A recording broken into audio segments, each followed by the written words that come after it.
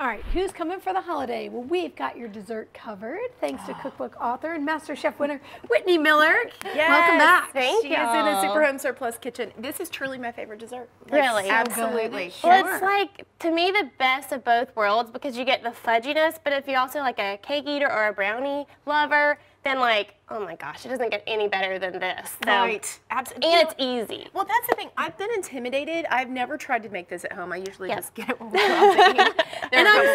intimidated Yeah. looking at the setup here, but this is from your first cookbook. Yes. All right, tell us the name of it. uh, modern hospitality. And so when I won Master Chef the first season, this was um, one of my prize winnings.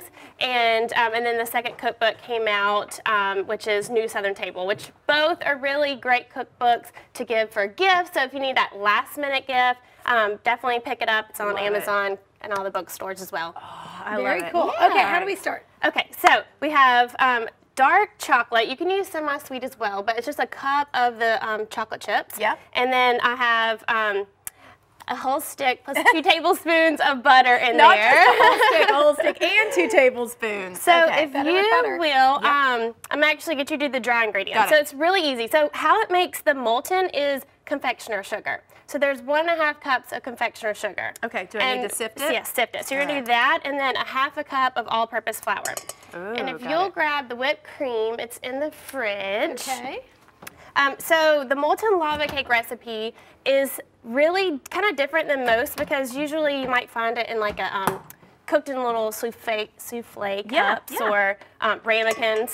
But mine is actually being cooked in um, just your regular like Little cupcake muffin mini uh, cupcakes. But Yeah, I like the go. fact that they're mini because then you can serve a whole lot of people. Or you Well- could eat seven of them and not feel bad. Amen to They're that. small. They're You know where I was actually cooked in a regular pan. We're gonna okay. unmold this one, and then we also have mini. Got it, got it, Okay, got it, got it. so okay. you can just kind of like dump it in there. right. So for time's sake. I'm trying to do a good job. I If you mean, don't, if you skip, you're one of those people that likes to There skip the sifting process. Okay. Yeah, how critical Put is all that? that goodness in there. Okay, we have um, brewed coffee. So if you want to put that in there, Ooh. two tablespoons of that. okay, And then it really helps just bring out that chocolate flavor. got it. Um, s- a teaspoon of vanilla. And then when we add the eggs, you want to do it very quickly because you don't want scrambled eggs. Okay. So I'll do the Oh, right. three egg yolks and then three whole eggs if you want to do that. All right. And if So you want to crack those first? in and get that going, Okay. I'm going to unmold this beauty. So I just recommend taking a little bit. This part looks challenging. This looks like a butter mo- This looks like something I would mess up. So basically, it's because it's a non-stick, it should.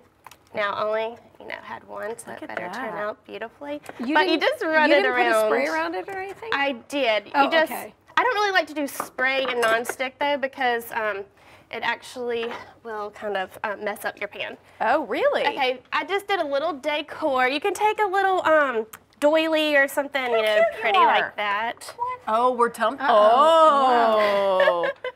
Okay, yeah, this is like challenging. I'm ready? loving it. I'm loving it. You got this, girl. You got this. So Pulling it out. if it doesn't, then you know what? You have the good It's fine. fudginess. We'll still eat it.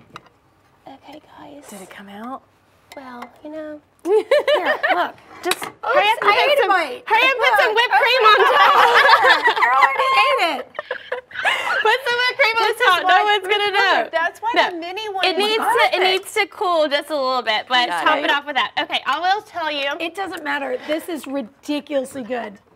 So this is the mini one, and underneath the there, under all that beautiful um, marshmallow, which if you're making these again for like a lot of people, Mm-hmm. kids, this is like perfect for kids. So put them in. If you're So intimidated by that process, put it in a muffin.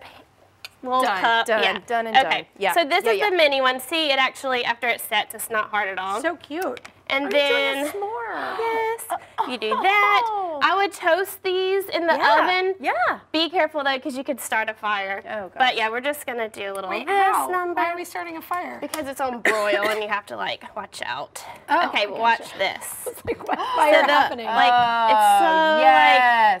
Because the thing about s'mores is you never get that good chocolatey. you know what?